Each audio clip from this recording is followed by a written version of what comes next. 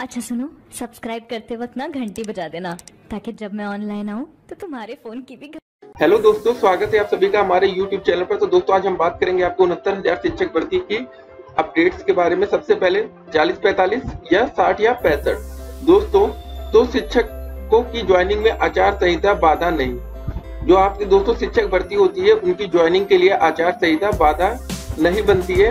ऐसा आपके high court ने कहा है। हाई कोर्ट ने 10 दिन के भीतर ज्वाइन कराने का दिया आदेश। दोस्तों, अगर आपकी 40 45 या 60 या पैंसठ पहले ही फाइनल हो गया होता, अब तक आप लोग को नौकरी दे दी जाती, लेकिन ये आदेश किसके लिए पढ़ते हैं। चलिए, अध्यापकों की ज्वाइनिंग में आचार संहिता, बाधा नहीं। प्रयागराज हाई कोर्ट ने कहा है कि शिक्षण संस्थाओं में अध्यापकों की नियुक्ति और कार्यभार ग्रहण करने में चुनाव आचार संहिता बाधा नहीं है। कोर्ट ने कहा कि आचार संहिता में ऐसा कोई उपबंध नहीं है जिससे शिक्षण संस्थाओं में नियुक्ति या ज्वाइनिंग रोकी जा सके। न्यायमूर्ति प्रकाश पाड़िया ने आचार संहिता को आधार बनाकर नियुक्ति पा चुकी अध्यापिका निशा शर्मा के कार्यभार ग्रहण करने पर रोक लगाने संबंधी बीएसए गाजियाबाद के आदेश को अवैध करार देते हुए रद्द कर दिया। अदालत ने बीएसए को निर्देश दिया है कि वह 10 दिन के भीतर नए सिरे से ज्वाइनिंग आदेश जारी करे। दोस्तों तो ये फ़िलहाल आपके पिछली वैकेंसी के लिए था, न कि आपके लिए है। तो दोस्तों, देखिए, अगर आप लोग फाइनल कट ऑफ़ कर ली जाती अगर दोस्तों ये साठ और पैंसठ जीता होता इस भर्ती में तो आप लोग डेफिनेटली समझ सकते हैं कि साठ पैंसठ की अगर जीत हुई होती तो अब तक आप लोग को ज्वाइनिंग मिल जाती।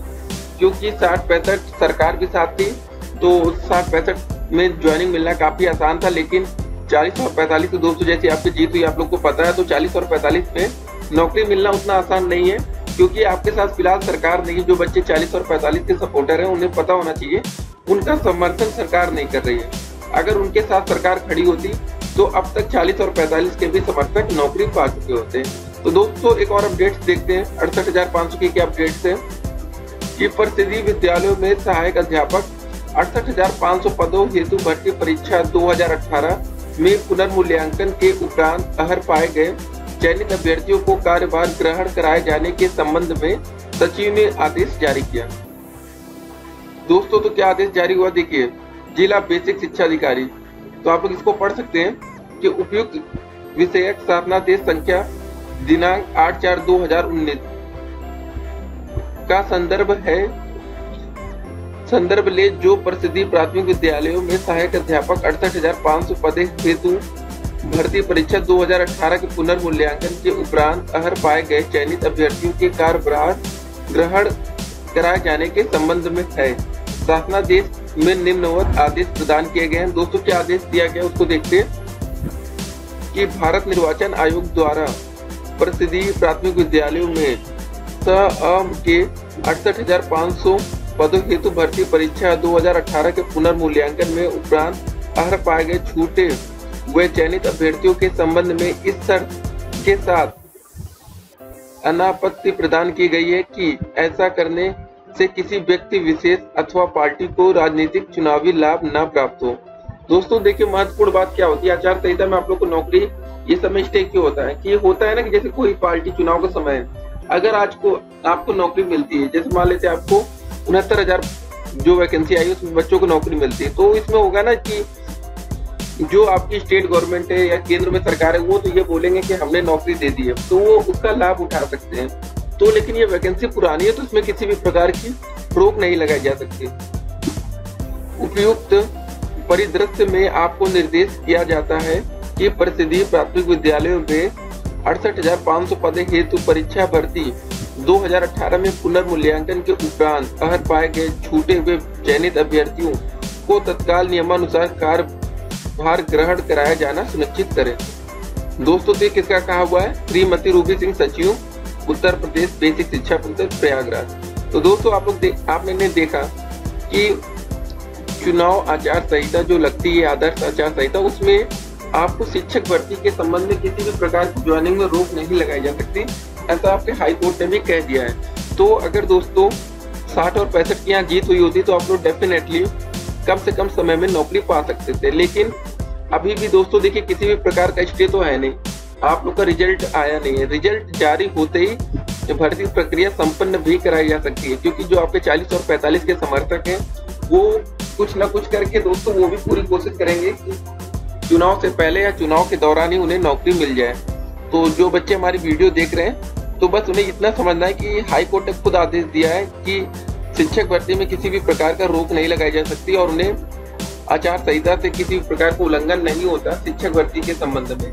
तो दोस्तों, ये बड़ी अपडेट है फ़िलहाल तो और भी शिक्षक भर्ती से संबंधित अपडेट पाने के लिए आप लोग हमारा चैनल सब्सक्राइब करें, जिससे कि हम आपको पल पल के अपडेट्स दे सके। दोस्तों तो काफ़ी बच्चों को अभी ये डाउट है कि, सर, ये कट ऑफ़ वाला जो प्रकरण है, वो कैसे कंप्लीट करें या आपका गुणांक कैसे निकाले? देखिए दोस्तों, हम इस वीडियो में आपको थोड़ा सा बता देते हैं गुणांक कैसे निकालना काफ़ी बच्चों के मैसेजेस आए थे। उस पर एक प्रॉपर वीडियो आज दोपहर एक बजे पब्लिश की जाएगी। ठीक है? तो उस वीडियो को आप लोग देखना मत भूलिएगा। उसके मतलब पूरी तरीके से आप लोग को गुणांक निकालना समझाया जाएगा। हाई स्कूल इंटर अभी आपको एक बेसिक आइडिया दिया जा रहा है कि आप लोग समझ सके कि गुणांक कैसे निकालते हैं। अगर मान लेते हैं आपके टेंथ क्लास में साठ परसेंट नंबर आ रहे थे, ठीक है? तो इसका दस परसेंट लेना दोस्तों। तो इसको दस परसेंट लेने का मतलब क्या होता है? साठ का दस परसेंट हो जाएगा, दोस्तों छः। निकालते कैसे परसेंटेज देखिए दोस्तों, इसका एक तरीका होता है। दस परसेंट निकालने के लिए आपको करना होगा साठ गुड़े दस बटे सौ। ठीक है? एक ज़ीरो से एक ज़ीरो कटा, एक ज़ीरो से एक ज़ीरो कटा। तो मतलब यहाँ से छह अंक आ जाता है। तो अगर लेकिन आपको सिर्फ़ दस परसेंट निकालना तो आप लोग को दोस्तों सिर्फ़ दस से भाग कर देंगे तो वो ज़्यादा आसान पड़ेगा। अगर आपके मान लेते दोस्तों बारहवीं में पैंसठ परसेंट अंक आए, ठीक है, सिक्सटी फाइव। तो अब इसको कैसे निकालेंगे? बस हमने क्या बताया, इसको दस से भाग कर दीजिए। तो यहाँ पर आ जाएगा छह दशमलव पाँच। क्योंकि काफ़ी बच्चों को हमारे पास मैसेजेस आए हैं कमेंट्स के साथ अगली रिप्लाई उन बच्चों का रिप्लाई आज ही वीडियो में दोपहर एक बजे की वीडियो में पहुँच जाएगा। ठीक है, उसके बाद मानते हैं आपका ग्रेजुएशन आता है। ग्रेजुएशन में आपने मान लेते साठ परसेंट अंक अर्जित किए। कितने परसेंट? साठ परसेंट। फिर इसका साठ बटे दस कर देंगे। कितना आगे दोस्तों? छह नंबर आ गया। उसके बाद दोस्तों आपका बीटीसी या बीएड होगा। है ना? बीटीसी या बीएड मान लेते दोस्तों आपने यहाँ पर सिर्फ़ पचपन परसेंट अंक लाए कितने लाए? फिफ्टी फाइव तो पचपन बटे दस कर देंगे इसको। तो कितना आ जाएगा? पाँच दशमलव पाँच।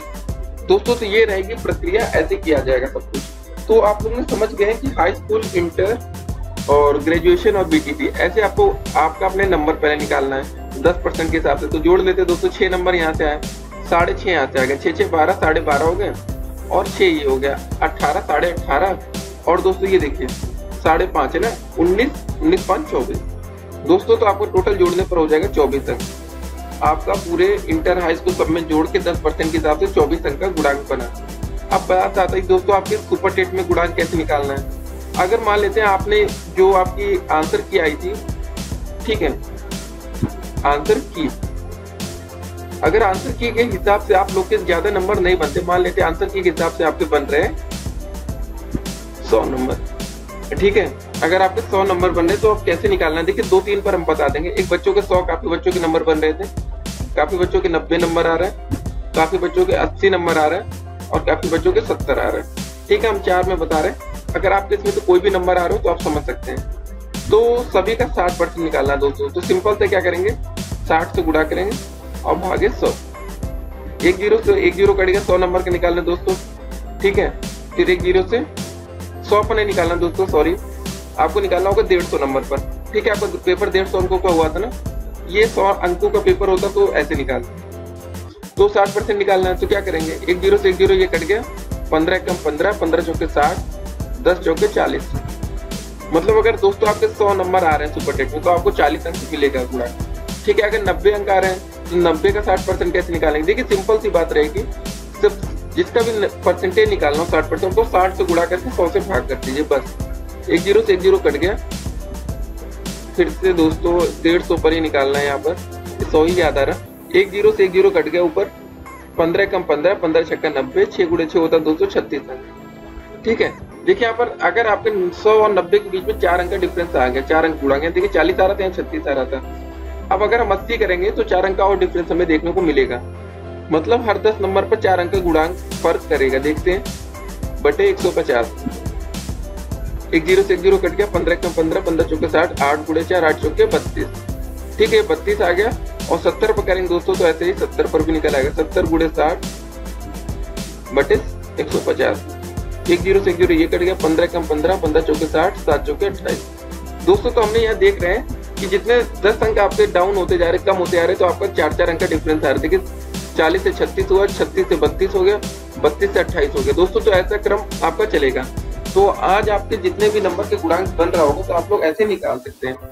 आपको जितने भी डाउट्स होंगे, दोपहर एक बजे वाली वीडियो देखना मत भूलिएगा। उसमें हम आपके सारे डाउट्स को क्लियर करेंगे। तो कौन सी वीडियो देखनी दोस्तों, आपकी आज पब्लिश होगी वीडियो दोपहर एक बजे। ठीक है तो आप लोग हमारे चैनल सब्सक्राइब कर लीजिए और नोटिफिकेशन बिल को ऑन कर दीजिएगा। नहीं तो आप हमारे चैनल में सर्च करके माध्यम से ये वीडियो देख सकते हैं। दोस्तों, फिर मिलेंगे। तब तक के लिए आप लोग अपना ख्याल रखें और सभी बच्चों का दिन शुभ हो।